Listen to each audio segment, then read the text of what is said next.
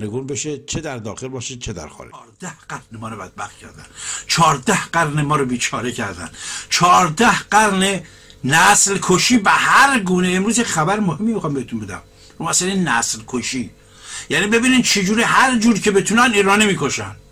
حالا جنگ داخلی را میندازن اول اصلا میان عمرا و سرلشکرها و پادشاه و خردمند ایران رو می‌کشن از مملکت چه می‌کنن چه می‌کنن؟ بعد تمامی سرمایه های بزرگ ایرانی آریایی عمرای ارتش شاهنشاهی ایران خلبان ها تکاورا اینا همه رو می‌گیرن ادام می‌کنن از اول که ما رو داغون کنن.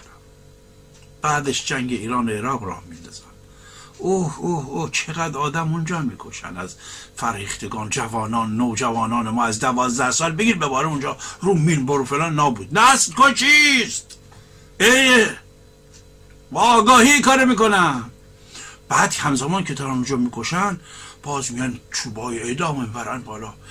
یک نسل جوان و فرهیختی که امجدی ها رو پر می‌کرد داد و فریاد می‌زد سلح شوری عشق شور. اونا رو باز از دوازده سیزده چهارده سالگی می‌گیرن تا 25 سی سالگی ها اعدام می‌کنن. بیش از صد هزار نفر اعدام می‌کنن. قتل عام می‌کنن. نسل کشی! به دست خود همین نمایندگان تازیان نه نماینده تازیان تو ایران. فکر نکنین اینا با عرب جرگیرن نه. اینها تازه سیده شن. چقدر ساده ای تو. باز برو مک. چقدر ساده ای تو. باز پاوره نباش شعور. باز برو حج زیارت کن. خاک بر سر شعوری که نداریم. شعوری که نداریم. تاریخ بخونید مطالعه بکنید. دیدید این یک یهودی پیدا کردید؟ ببینید اسم بچهش بذاره هیتلر. هیتلر عکسش هم بزن بره قبر هیتلر. بدبخت از هیتلر بدتر اینا قتل عامتون کردن. چهارده قرنه. الان هم دارن قتل عام می‌کنن. الان چجوری؟ دیگه سیاوش شهوستان نیست که به شما میگه. اسناد از خودشون بهتون میدم. اسناد از خودشون. ببینید آقا میگه ذرت ها رو. چی جور مسموم کردن؟ هزاران هزاران تن. ذرت رو مسموم نکردن که حیوان رو بکشن. می‌خوان شما رو نسل کشی ایرانی بکنید که اینقدر سکته سکته قلبی مغزی کوفت زهرمار سرطان اینقدر رفته بالا تو ایران. همین است دیگه. اون موقع که تو جنگ بود اوایل جنگ می‌گفتن ها صدر و کافور میدن توی جنگ به چا بخورن که چیزشون نشه بعد می‌تونن کار کنن. بعد وقت اصلا اونجا داشت ما رو نسل کشی می‌کردن. تا الان. بعد این ذرت ها یه مسموم این بابا خودش مسئول اون مملکت داره میگه. و بعدم می‌دونی ذرت های مسموم هزاران هزاران تون اصلا نمیشه کارش کرد.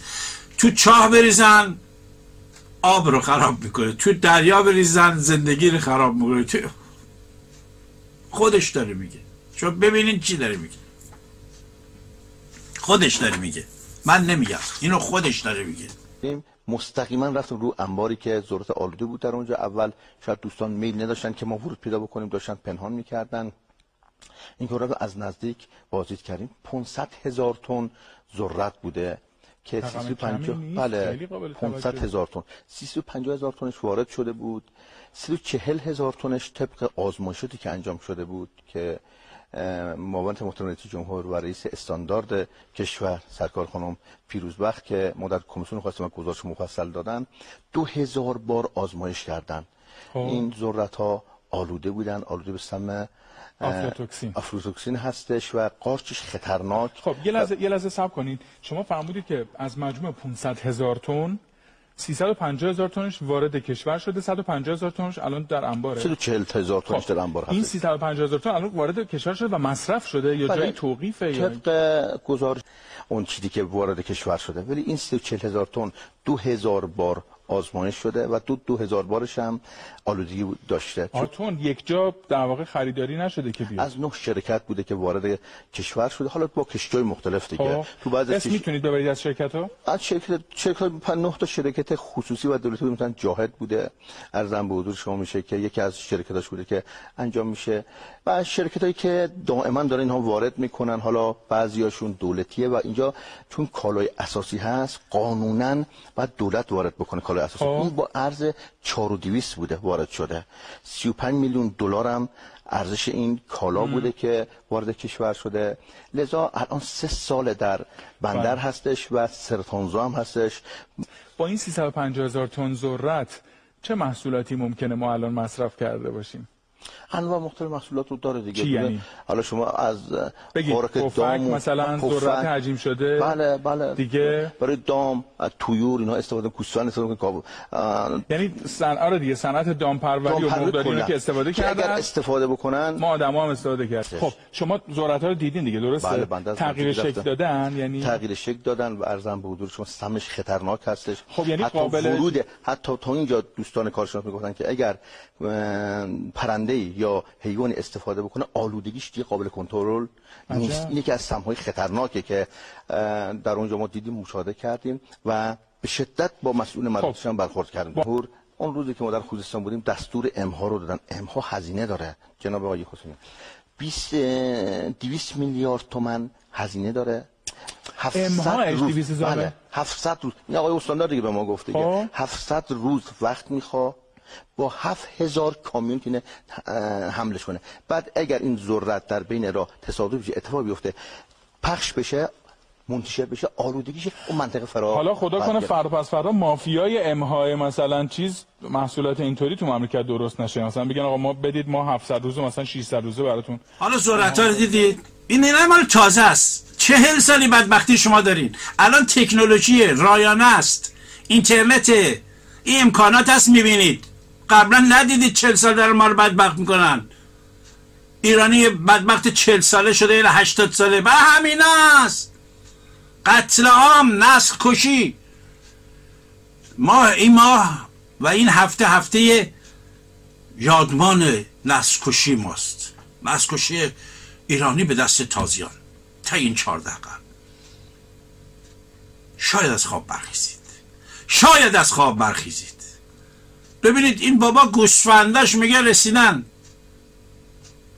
دم این رودخونه آب بخورن. رودخانه که بالا بسته بوده یا اینجا آمده آب بخوره. رودخانه مسنون تمام گوسفنداش افتادن مردن.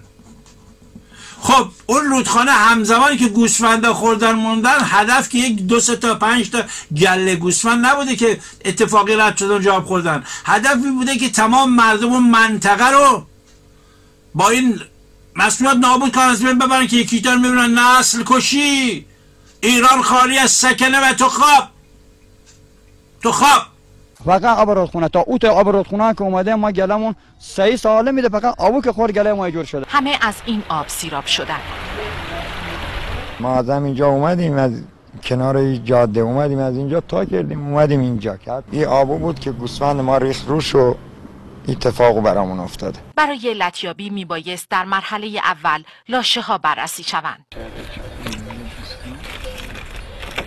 چون از به حساب رودخانه آب خوردن و بعد از نیم ساعت تلفات شروع شده احتمال خیلی زیاد مسمومیت هست چون سلامت آب هم از علل مشکوک بود محیط زیست به میدان آمد تا میزان آلاینده های آب را بسنجد. خیلی بالا بود.